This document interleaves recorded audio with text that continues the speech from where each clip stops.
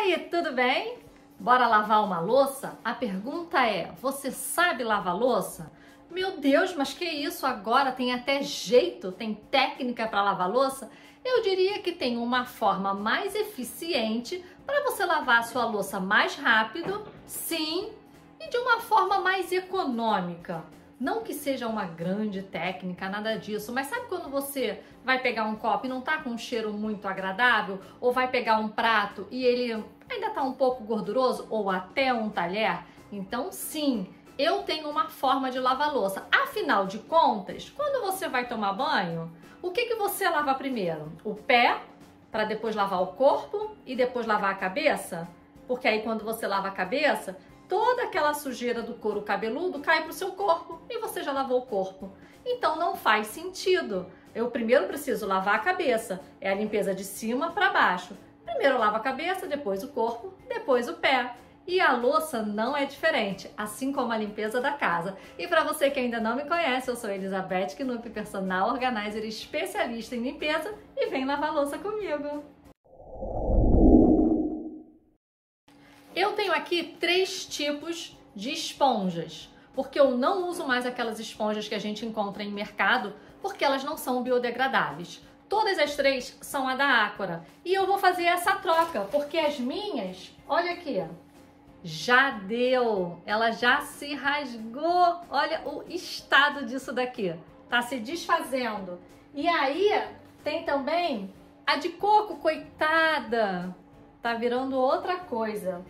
E também a Scrub, que coitada, essa daqui então, aqui jaz. Então eu vou fazer essa troca dessas esponjas. E por que que eu uso três tipos? É isso que eu vou falar agora. Seguindo o critério que eu falei do banho, que primeiro a gente lava o cabelo, depois o corpo e depois o, o pé, aliás, que é justamente para a sujeira ir descendo. Assim é a limpeza da casa, certo? Adianta eu limpar o chão e depois eu limpar o teto, por exemplo? Não, a sujeira do teto vai cair no chão. E a louça é a mesma coisa. A gente deve começar das coisas mais limpas para as coisas mais sujas. O que, que seria o mais limpo? Copos, potinhos plásticos que às vezes apoiam um biscoito, às vezes apoiam uma uvazinha, ou seja, são coisas que não têm muita gordura. Então, para esse tipo de louça, eu uso essa daqui, que é a Eco Mais, a esponja vegetal. Ela é uma esponja feita de milho e ela vai durar até quatro meses. A gente só precisa ter o cuidado de não usar coisas cortantes. Ela também vai servir para limpeza de frutas. Você pode ter uma só para isso, tá?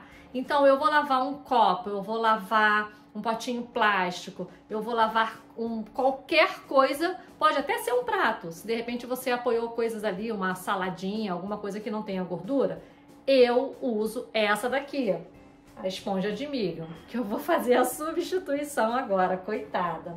Agora, quero lavar um prato, um talher, quero lavar uma panela, quero lavar algo que seja mais sujo, que tenha mais gordura. Aí eu vou usar essa daqui, que é a esponja de coco.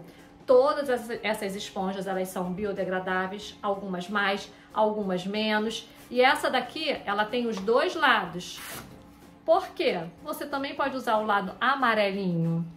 Ó, é bem fofinha para uma limpeza mais leve e pode usar esse outro lado aqui, ó, que é o lado do coco, o lado mais grossinho, para uma sujeira mais pesada. Da panela mesmo, tá, tá ali lavando uma panela de arroz.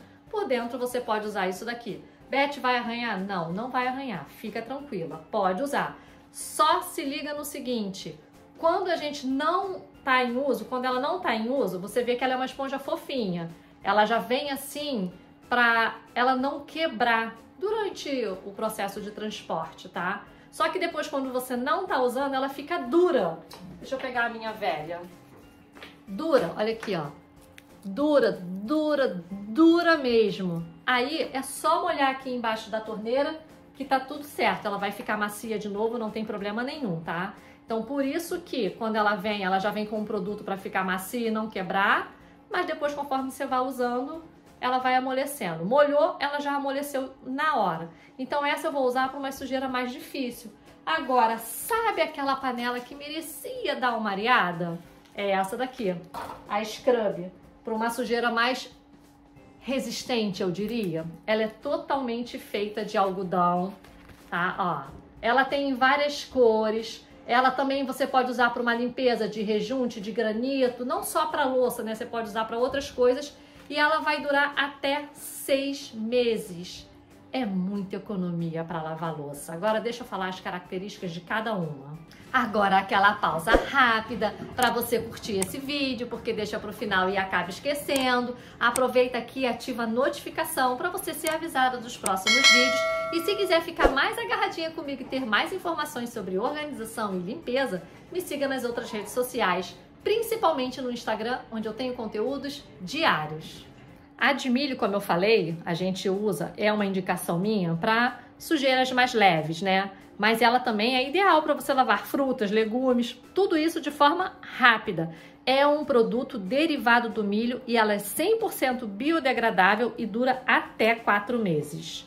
Já a esponja de coco, ela também vai lavar as suas louças ali sem agredir. Tem um lado da celulose, que é aquele lado mais amarelinho, e o outro que é a fibra natural de coco. Ela também serve para uma sujeira mais leve, para uma sujeira mais pesada e ela é 90% biodegradável. Já a Scrub, ela é um produto de algodão para lavagem de louça e limpeza pesada. Ela equivale a 25 esponjas de limpeza. É muita economia, além de ser 98% biodegradável.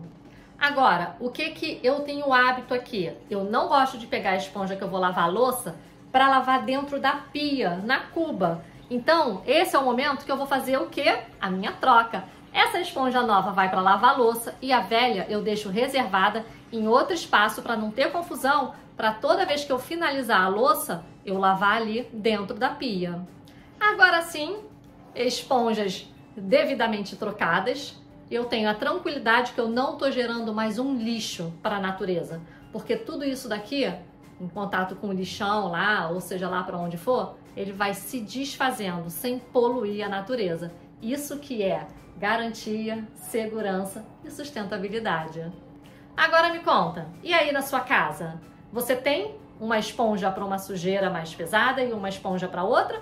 Ou a esponja que lava o copo é a que vai no prato, é a que vai na panela de rabada, é a que vai dentro da pia? Como é que tá essa festa aí na sua casa? Fala para mim aqui nos comentários. Aproveita agora e fica aqui com os próximos vídeos e saiba mais também sobre o meu treinamento online, onde a sua casa vai ficar mais limpa em menos tempo.